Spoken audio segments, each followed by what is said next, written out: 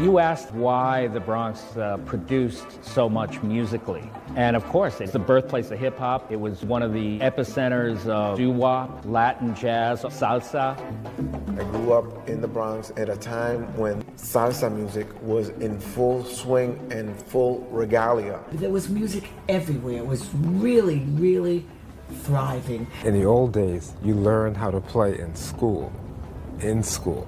I mean, we took it seriously. At every corner, there was a different band rehearsing. There were lots of clubs the 845 Club, Kenny's, Freddy's. It was nothing to see these bands playing in the streets. You would see Tito Puente playing, they would block off the street and have a festival. The Bronx was happening, man. I mean, I can't sell you enough on it.